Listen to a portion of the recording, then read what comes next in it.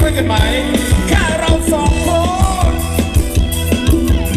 เชื่อพี่น้องไม่ผิดหวังแน่นอน